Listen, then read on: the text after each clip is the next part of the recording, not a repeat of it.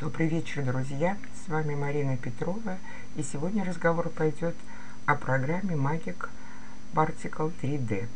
Программка выглядит, вот иконочка этой программки, серый-черный такой кружочек, а при открытии мы получаем вот такой э, экран. Значит, перед нами, я поменьше сейчас сделаю, вот так, да, э, перед нами четыре белых поля. Слева размещаются эмиттеры, в центре это поле настроек, мы можем его немножечко уменьшить, вот так подвинем. Это экран просмотра и внизу настройки. Итак, как можно открыть двумя способами. Можно сделать файл, открыть образец и выходят эмиттеры. Это первый вариант. Можно просто нажать на желтую папочку и тоже они появляются. Итак, выберем а, какой-нибудь эмиттер, скажем, из этой группы, они очень красивые, яркие.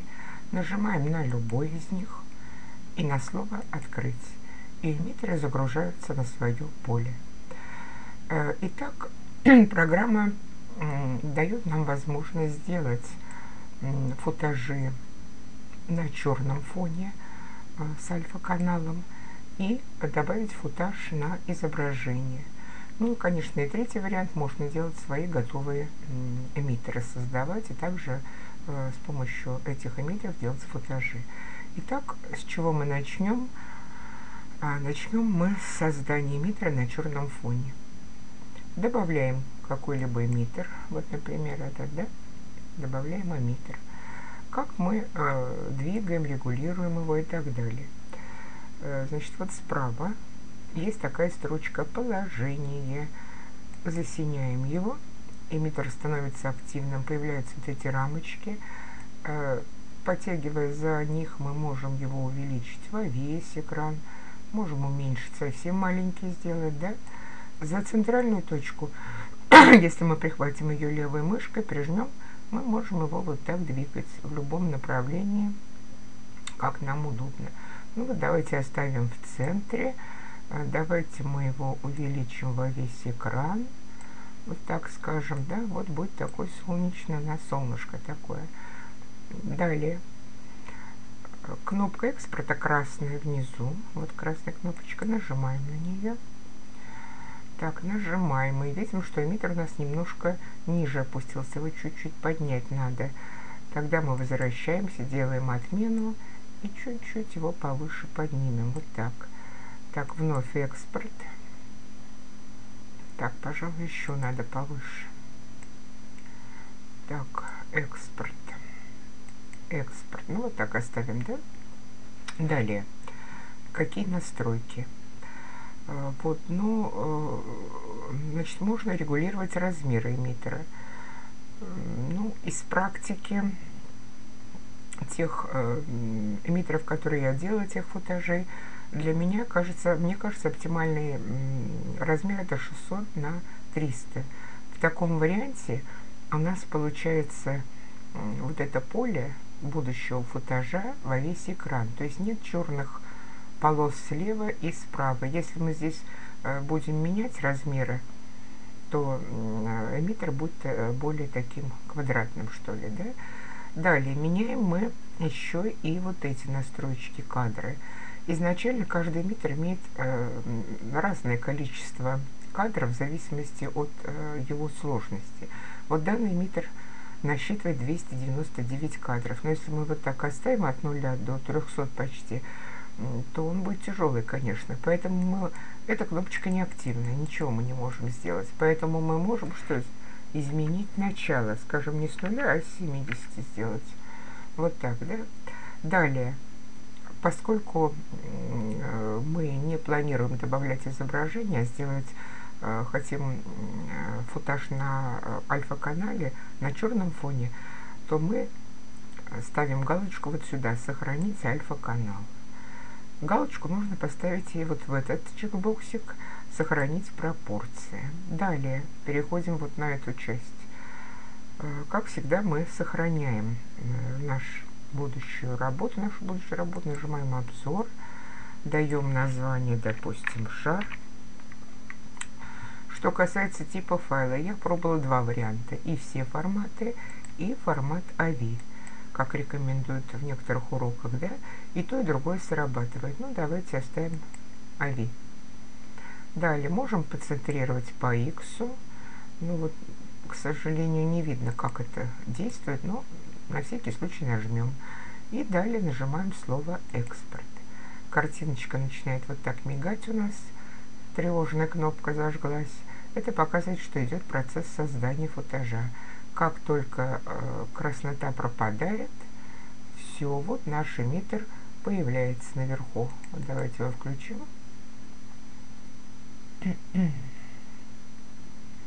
Так, вот такой у нас получился футажик.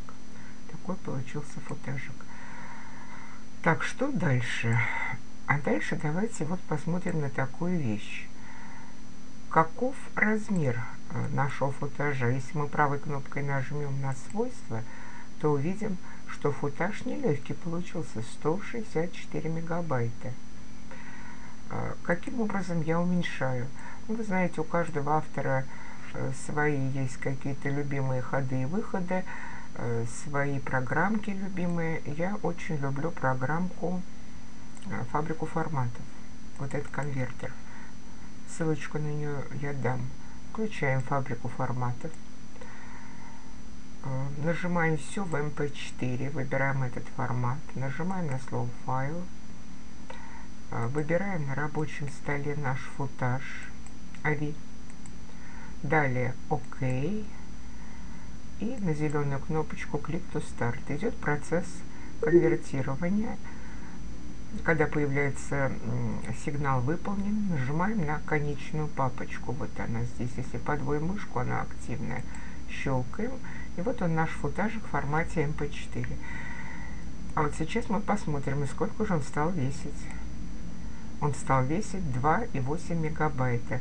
Итак, был он у нас приличный, да, довольно-таки. А где-то там 100 с чем-то, да, я вот сейчас не помню где у нас этот футажик, вот он AVI, а, был он 160, а стал 3 мегабайта. Есть разница? Я думаю, что есть. Поэтому мы в дальнейшем будем пользоваться футажом в формате MP4, а пока мы убьем. Что далее? Далее. А, вот, ну, я смотрела уроки Ларисы Гурьяновой по этой программе. У нее очень интересный есть урок с помощью скринов, как работать в этой программе. Вот, ну, поскольку э, вот автор пишет, что э, необходимо гифку, она больше занимается вот программами, программой Photoshop, чем, скажем, нежели я программой прошел продюсер, то она предлагает вот этот наш футажик превратить в гифку. И для этого использует программу GIF Video to, э, простите, видео to GIF. Вот она, эта цветная программка. Ссылочка тоже я дам. Включаем эту программку, запускаем. Вот она на английском языке, но там, э, собственно, можно разобраться. Итак, Open, открываем. Добавляем наш футажик в формате MP4, поскольку он легкий, и легче пойдет процесс. Открыть. Так, далее, э, вот здесь вот частота, частота меняется с помощью вот этого, этой галочки. Если мы поставим на нее, надавим левой мышкой, то, видите, частота меняется. Ну вот где-то рекомендуют порядка 30 оставить частоту. Больше мы ничего не меняем. Нажимаем, нажимаем Run. И здесь э, тоже Run. Так, и пошел наш процесс конвертирования, превращения видео э, в GIF формат. Так, подтверждаем ОК. ОК. Так, и далее, вот наша гифка получилась. Получилась гифка. Так, я сегодня установила одну программу, интересно, просто долго мучилась с открытием GIF. И вот видите, как быстро она открывается. И что интересно, в этой программе гифка, видите, как постоянно функционирует. Не циклично. А я обычно открывала вот этой программой Media Play Classic. поскольку это проигрыватель медиа, то э, наша гифка там, видите, как она вот сейчас дойдет до конца и остановится. Все. И придется снова включать. Вот программа это называется вот так. InViewer. InViewer. А, ссылочку на нее я вам дам. Так, и так первая часть урока закончилась, да, то есть мы получили футаж. Значит, я еще раз повторяю, пройдемся по сохранению, как мы сохраняем обязательно галочку на альфа-канале, обязательно вот здесь сохранять пропорции. Здесь мы выставляем частоту, уменьшаем количество кадров за счет, прибав... за счет того, что значит, отдаляем начальный кадр, э, сохраняем обзор, центрируем и нажимаем экспорт. Так, теперь вариант такой. Кстати, убираются эмиттеры вот таким образом, стрелочкой назад, назад, назад. Мы все сейчас уберем. Или можно просто добавить другой эмиттер. Ну, давайте, скажем, добавим... Да, можно и с этим работать. Оставим этот эмиттер. Так, теперь э, как быть, если мы хотим добавить э, вот этот эмиттер, это солнышко, на картинку? Значит, тоже есть несколько вариантов. Либо вид и выбрать фон. Это один вариант. Либо попроще, мы просто нажимаем вот э, на эту э, квадратик, он не подписан, да, около вопросительного знака слева. И выходит табличка «Загрузить» загружаем любую картинку. Так, ну вот я выбрала, очень интересно получаются арт-девушки. Выбрала девушек, набрала в поиске Яндекс. Так, вот такая картинка. Значит, как нам подвигнуть фоновую картинку? Около таймера э, вот, времени кстати, таймер работает постоянно, это эмиттер работает. Можно его отключить, а можно работать и при включенном. В партикле это невозможно, надо обязательно отключать. А здесь вот, пожалуйста, можно любоваться и дальше работать. Мы щелкаем на масштаб фоновой картинки и начинаем крутить колесиком мыши э, вот нашу, э, этот формат нашей картинки. Выбрали. Так, далее, ну так, чтобы он вот был по, по размерам экрана. По размерам экрана. Так, по размерам, вот так примерно, да? Как двигается эмиттер? То есть мы его можем, посмотрите, повернуть, сделать его, уменьшить непрозрачность. Для того, чтобы его подвигать, мы засеняем положение. Вот слово написано, положение, строчка. Появляется, он становится активным, вот эти синенькие рамочки можем за, э, за центральную точку левой кнопкой мыши, нажав и держа ее, можем его подвигать. Можем сюда его разместить. Можем сюда, сюда, сюда, в прическу можем поместить его. Но э, я вот спрашивала у Ларисы Гурьяновой, если в Particle Illusion можем добавлять несколько эмиттеров, и в этой программе только один эмиттер можно добавить. Так, как его размер увеличить? Потянуть вот за эти уголочки.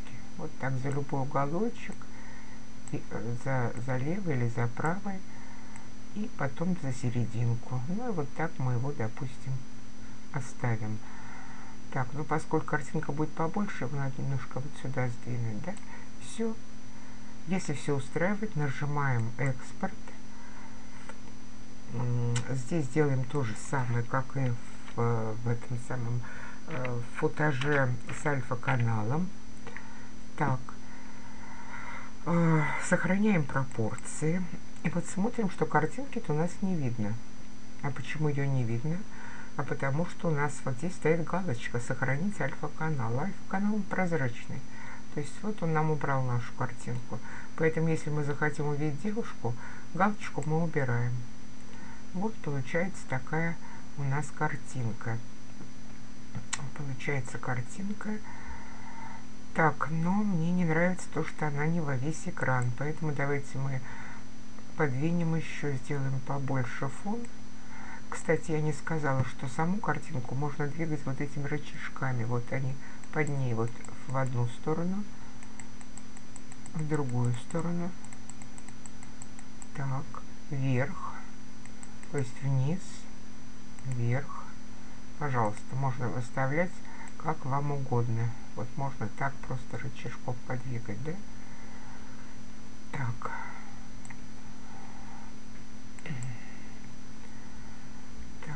Так, так, так. Ну, попробуем вот так сохранить ее. Так, вот так, наверное, да? Экспорт. Убираем альфа-канал и смотрим. И теперь у нас картинка во весь экран. Оптимально для того, чтобы она вот так входила сюда и э, не было черных мест, как в первом случае, да, 600-300 плюс масштабирование э, в начале. Так, далее нажимаем обзор, э, называем нашу картинку, так, солнышко. Здесь можно оставить все форматы, а можно AVI. Получается в любом случае сохранить. Центрируем по X и нажимаем. Да, э, вот что касается кодеков, то видео должно быть не сжатое. И нажимаем экспорт. Картинка мигает. И после окончания красной, красного мигания она появится на рабочем столе, где мы ее и сохранили. Так, можем выключить все. Это можем выключить. Так, и пока не будем сохранить. Так, не будем, я еще покажу. Вот э, получается вот таким образом. Вот наш футажик, что у нас вышло. Ави. Вот такая картинка. Не забываем, что мы его должны, прежде чем что-то с ним делать, делать гифку, добавлять на ютубе. Мы идем в фабрику форматов. Еще раз проговариваем, ставим, а вот здесь можно э, конвертировать и видео, и аудио, все, да, mp4 формат, файл, э, выбираем на рабочем столе нашу девушку Ави, открыть, нажимаем ОК, клик to start зелененькая,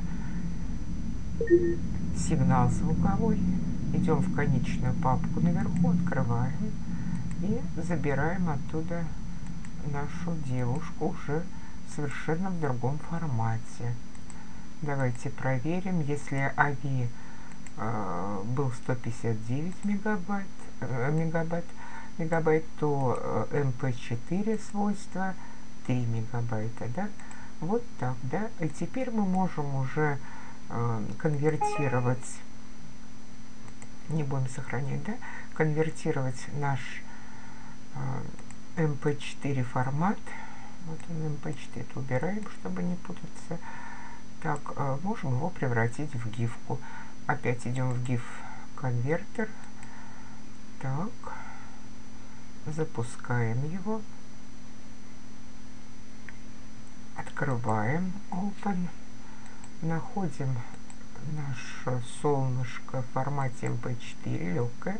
Открываем выставляем 30, вот здесь вот, э, частоту 30 кадров. Это примерно 3,5. Нажимаем Run, еще раз Run, потом ОК, и идет процесс конвертирования. Ну, так, ждем, соглашаемся. И вот получилось э, наше солнышко в формате GIF. Так, проверяем его с помощью вот этой программки. Еще раз показываю. Инвиева программка, да? Открыть. Эта программа запрашивает разрешение, да? И вот у нас наш файлик, он постоянно, без зацикливания, работает в GIF-формате. Ну, вот, да, кстати, э, компьютер, правда, ругается, вот когда я скачиваю эту программу, но 32, вот, но я его успокаиваю, говорю, что все в порядке, пусть не нервничает, она мне нужна, эта программка, вот, я ее не боюсь. Ну вот, пожалуй, все. Э, спасибо всем за внимание.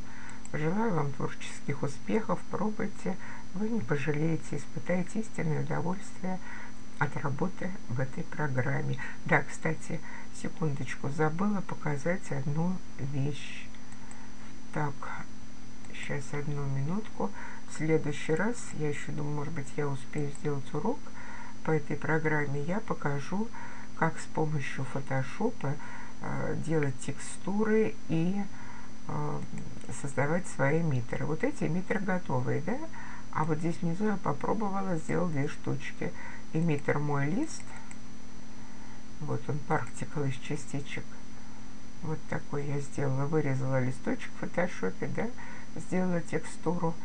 И, и второй хранилище можно посмотреть. Так, второй э, эмиттер. Так, второй называется кудряшка. Моя кудряшка. Так, Арктика, вот так она выглядит. Тоже нашла такой в фотошопе узор и вот сделала такой эмиттер. Но об этом мы поговорим в следующий раз. А сейчас всех вам благ. Всего доброго.